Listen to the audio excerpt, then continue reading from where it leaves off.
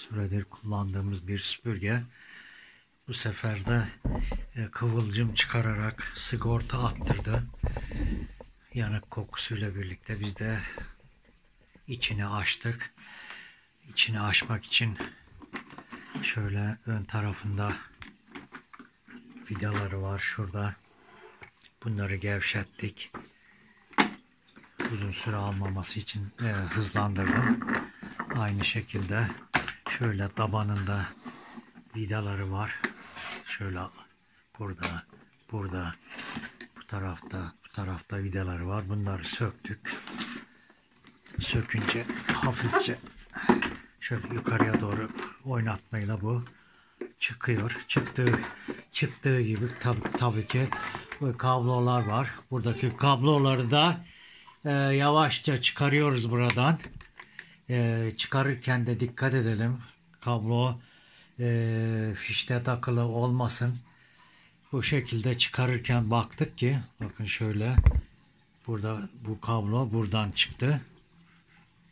Şuradaki kablo da şurada bağlantı e, kablosu var şöyle. Buradan söktük. Bunu aldık. Bakıyoruz şimdi şöylece e, neresinde bir arıza vardır bu kıvılcım nereden çıkmış diye e, dikkatlice inceleme yaptığımızda e, kabloların hasar gördüğünü görebiliyoruz. Bu hasar gören kablo şurada e, bu yukarıya takılıydı şöyle. Şu şekilde şuraya takılı. Bunu çıkardık buradan. Bu böyle basılı iken bakın şöyle görebiliyorsunuz. Isınmaktan dolayı bu kablo e, bakın pavzımış ve şöylece yakından göstereyim. E, temas etmiş. Nereye temas etmiş? Şuradaki bağlantı için kullanılan kablolar var. Bu kabloların şöyle üzerinde temas ettiği yerleri kıvılcım attırarak şöyle çevirerek bakmaya göstermeye çalışıyorum. Burada üzerinde değdiği noktalarda bakın şöyle şuraları açılmış. Buralar temas etmiş ve oralardan birbirine kıvılcım sıçratmış. E şimdi bu şu kıvılcım sıçratan yerlere bakın. Şöyle bakıyoruz. Buraya epeyce temas etmiş. E, o nedenle bunları şimdi e, bantlayacağız. Sağlamlaştıracağız. Bu e, ufak tefek şeyden de e, kurtulmanın yoluna bakacağız. Şimdi bu kablomuz şurası epey hasar gördüğü için belki bunun içinde kopmalar var. Bunu şuradan açacağız artık. Ee, kopardıp yeniden şuraya ekleme yapacağız veya evet şöyle şuraya kadar bunun ee, şuraya kopartıp artık şöyle buraya kadar yetiştiği için şöyle şuradaki kısım yanmış buradakini şurada koparıp buraya bağlantısını yap yapacağız. Üst taraftaki kabloları da bantlayarak sağlamlaştıracağız. Şimdi bunları kopartıp e, ucuna klipsini ekleyelim ve toparlamaya başlayalım. Uzun bu kablomuzun böyle kısa devre yapan kısmını şuradan kestim kopardım. Klips de bozulmuş. Akşam vakti de klips bulamayacağım için şuradaki delikten geçirdim böyle. İçindeki delikten geçirdim. Buraya kabloyu iyicene böyle boğdum. Bakın bu burada biraz gevşek duruyor. Onu iyice bantlamamız lazım veya bu e, lastik klipsin ucu vardı.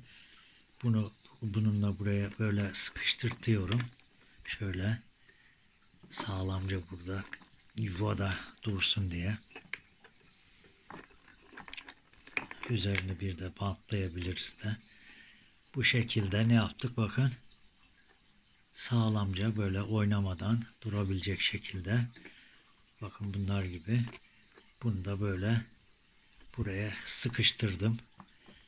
Üzerinde bantlayarak sağlamca çalışır hale getirdik. Evet sizler de böyle e, basit çözümleri, gözle görünür arızaları giderebilirsiniz.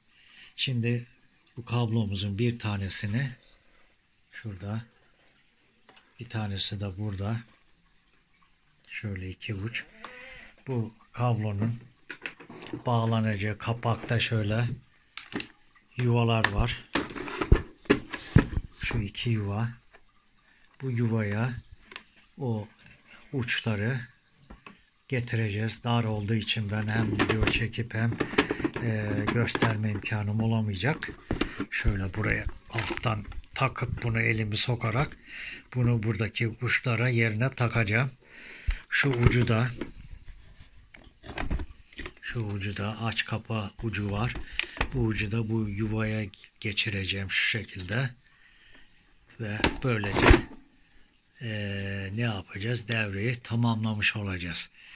Bu şekilde ben pardon şöylece göstereyim. Böylece bunu bu dar alanda gerçekleştireceğim. Bu ucu dediğim gibi şuradaki e, yuvalara şuradaki yuvalara takacağım. E, sizler de böyle biraz uğraşıyla birlikte bu işlemi gerçekleştirebilirsiniz. Ben takıp çalışmayı deneyeceğim ve tekrar sizlere çalışır halde göstermek istiyorum. Arızayı giderdik, bantladık, güzelce sağlamlaştırdık bu kabloyu. Şimdi bağlantı vidaları var. Bu bağlantı vidalarını düzgünce yerine yerleştirip sağlamca sıkıyoruz. Takılması gereken yerleri şöylece vidaları var buralarda. Buralara yuvalarına yerleştirip takıyoruz bakın şöyle. Daha sonra sağlamca çalışır hale getireceğiz böyle. Vidalar yerine takılmış olacak. Ee, her bir vidayı unutmadan yerine takıyoruz. Bakın birisi burada. Şöyle şurada yuvası var. Şöyle şöyle yuva var. Bu da üst kapağı tutan yuva. Bunları bu şekilde yuvalarına düzgünce geçirip sıkıyoruz. Unutmadan vidaları artırmadan sağlamca yerine yerleştirelim. Bu şekilde daha sonra dediğim gibi şuradaki kabloları kabloları da buradaki şu yuvalarına şu jack yuvalarına yerleştireceğiz ve eksiksiz bir şekilde şu şunu da şuradaki yuvası var. Şu yuvaya takıp tamamlayacağız ve kapatacağız. Haydi bakalım. Yanlışsız kapatalım. Kabloların üstten taktık buraya. Şuradan da yuvaya taktık bağlantı ayar vidasını. Şuradaki döndürme hızını ayarlayan kablo var orada. Fişi de elektriğe taktık. Şimdi iyice sağlamlaştırmadan evvel bir bakalım bakalım te, e, çalışıyor mu? Şuradan düğmesine basıyoruz. Şuradan da hız ayarını da yapabiliyoruz. Evet şimdi artık sağlamca kapatabiliriz diyoruz. Güzel bir tadilat yapmış olduk diyoruz. Evet sizler de böyle basit bir elektrik arızasını şurada beyaz olarak gösterdiğim kısımda eee kısa devre vardı onu gidererek bu şekilde tamiratını gerçekleştirdik. Şimdi vidalarını kapatarak sağlamca düzenleyelim.